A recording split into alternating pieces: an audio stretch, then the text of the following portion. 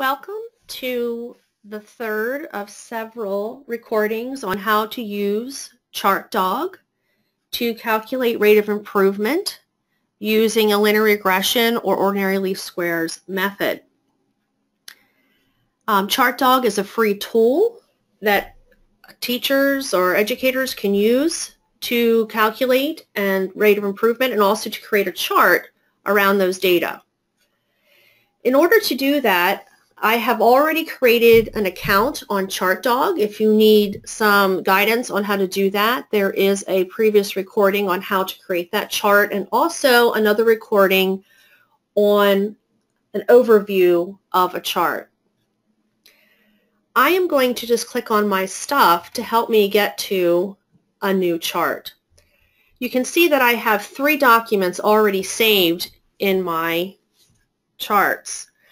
Um, I'm going to be creating a new chart today. I have a new student that I want to um, enter data for and to calculate rate of improvement over the course of the school year.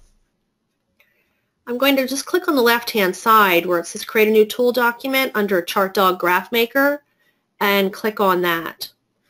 When it says leave this page, you do want to do that even though you might be concerned that you're leaving ChartDog. Um, this is going to actually get you to the chart that you need. So once you're there, you can see that I'm still logged in and there's this Save Document tab. That's very important for me to know so that I can save this chart um, to enter more data or to share with others. This instructions area, there's some basic instructions on how to use ChartDog that you may want to look at before you get started. So you can see that I have this blank chart and I'm ready to create my chart. So the first thing I'd like to do is go under chart options and you can see that once you select something it gets into a blueprint. You just click on that and whenever you see this um, cloudy screen that means that there's a screen for you to enter more data. So up here at the top is the title of your chart and then what you're going to label the X and Y axis. I'm going to be charting data for a third grader. So I'm going to say third grade, and I'm going to be doing computation. For you, you would want to enter the student's initials or names so that you can, you know whose chart this belongs to. You may be charting several students in a classroom or school. The x-axis is going to be the dates.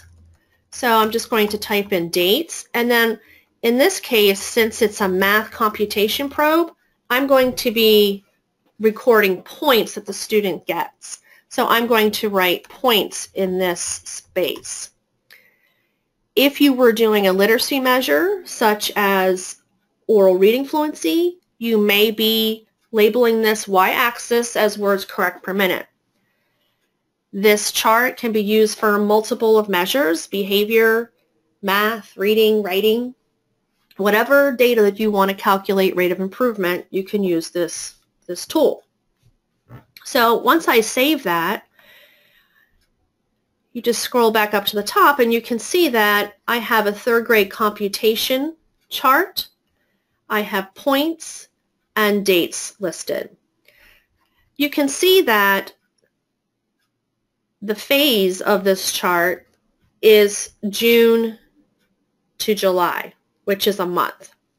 I want to change that so it goes the course of a school year from fall to spring.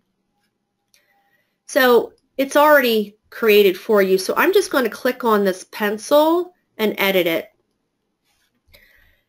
So I'm going to start this in September and I'm going to use the first universal screening date, which is going to be the September 7th. And that's this is just a random date that I'm picking. I just hit OK.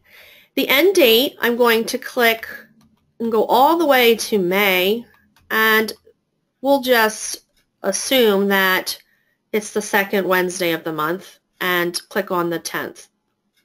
Once I hit save,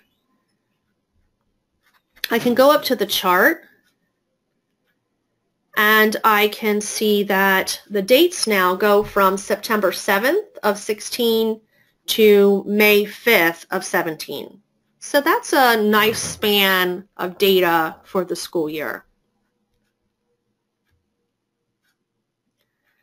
During this phase, and I'm going to edit this, so I'm going to click on the pencil, I'm going to be using um, a research-based program called intensive intervention. This is just a random name at this point. You have other choices that you could use during this phase.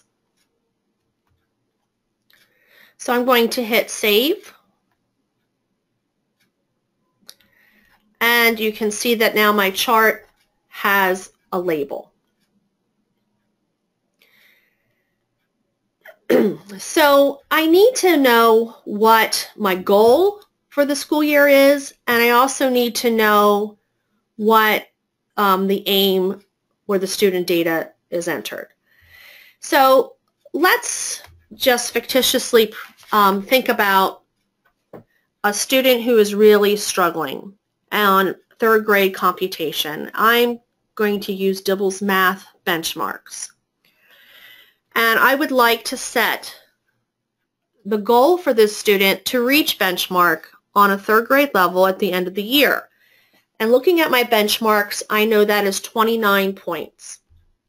So I am going to go under goals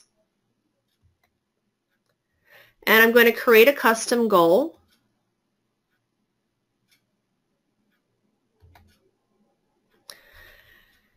And the value of that goal is going to be 29. So I'm just going to type 29 in there. And you can select whatever line color that you want. Um, let's select purple. And this is, I'm going to put um, third grade benchmark there just so that I know that I set the goal at the third grade end of the year benchmark. So let's make that more clear.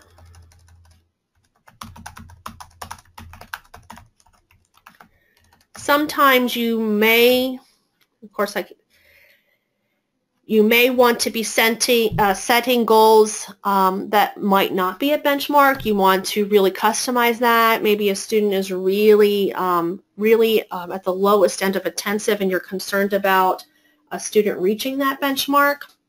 But for our purposes today, we're just going to set it at the end of the year benchmark. And then I'm going to hit save. And then I can check my work at the top and you can see that the third grade end of year benchmark is this purple line, which is 29 points at the end of the school year. I also need to set an aim. So um, let's pretend that this student was at the highest limit of intensive on this measure in the fall, which is a score of 8. So over the course of the school year, this student needs to go from 8 points correct to 29 points correct. So I'm going to set my aim. I'm going to click on aims and create a custom aim.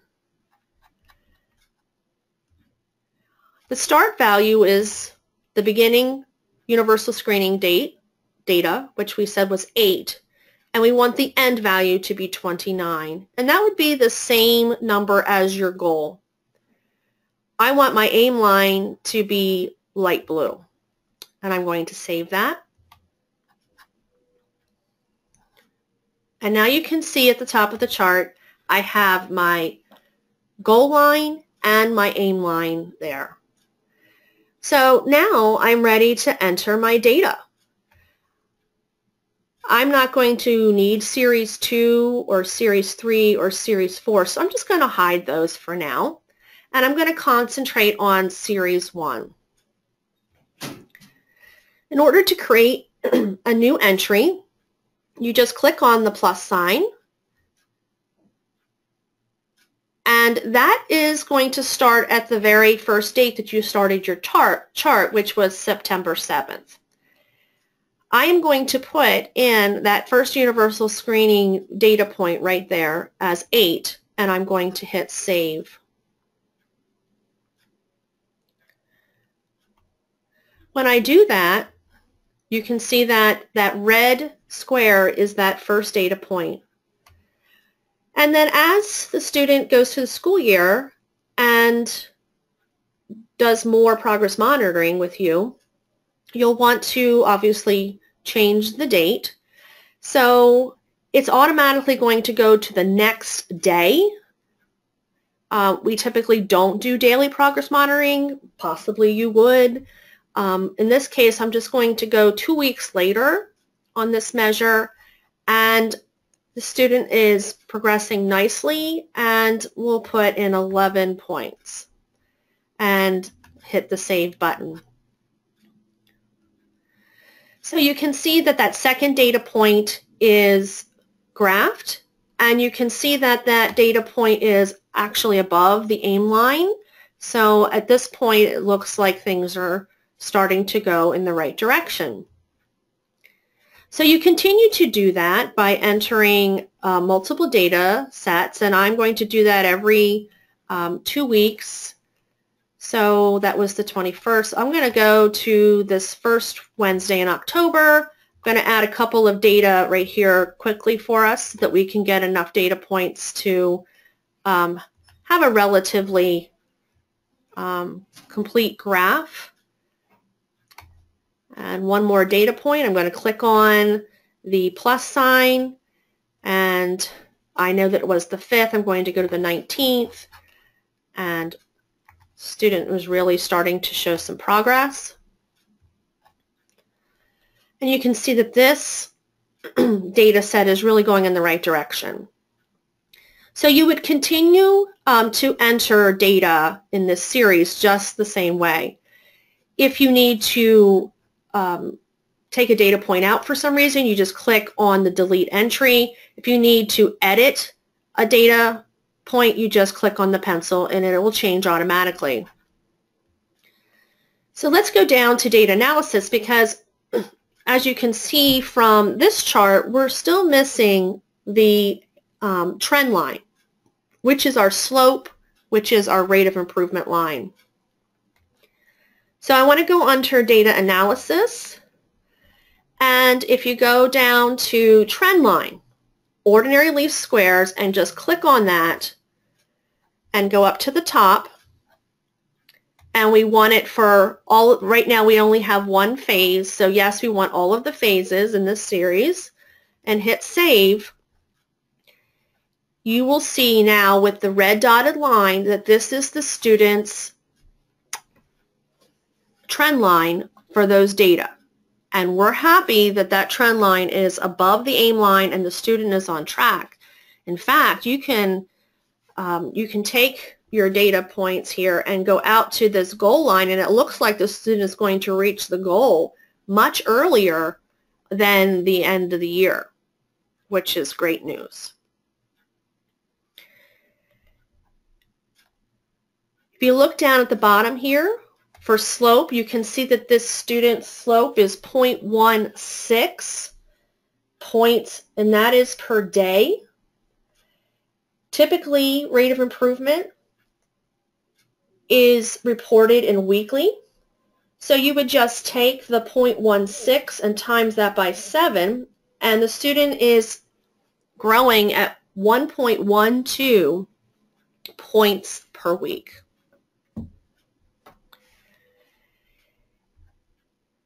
So you'll continue adding data across the year, and of course the rate of improvement will change as the data points go up and down.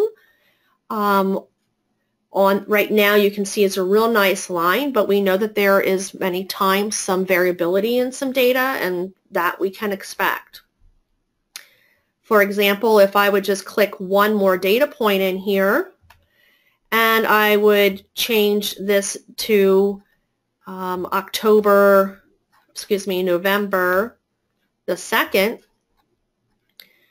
And let's say the student had a dip and I put a 7 there and hit save, which can happen. you can see that the student's aim line, excuse me, the student's trend line dipped as well with that data. So um, we hope that does not happen, but you can see that that will change. And as the data changes, um, the line will also change. If we go to, and you can see that's also automatically calculated into the slope. You still times it by 7. So we're going to leave this student on a positive trajectory. I'm just going to delete that entry. And this is a much nicer picture of rate of improvement.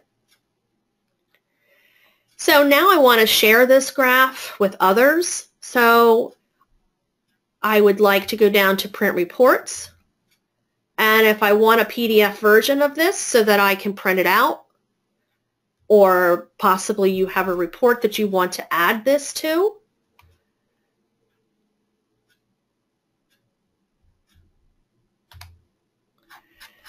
And so here you can see in PDF form the actual uh, chart, um, data that's been entered here, the value and the comments, if you had any comments.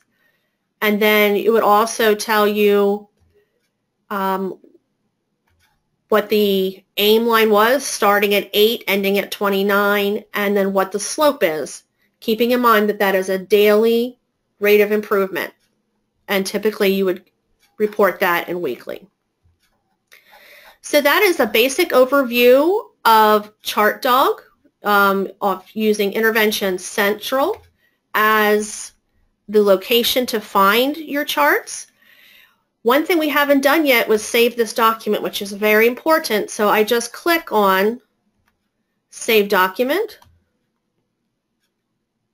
And if I go up to my stuff, which is third grade computation, you can see that today's date and third grade computation is there. And I just click on that chart whenever I want to enter more data. So wishing you best of luck with entering data and calculating rate of improvement, and hopefully this has been helpful to you.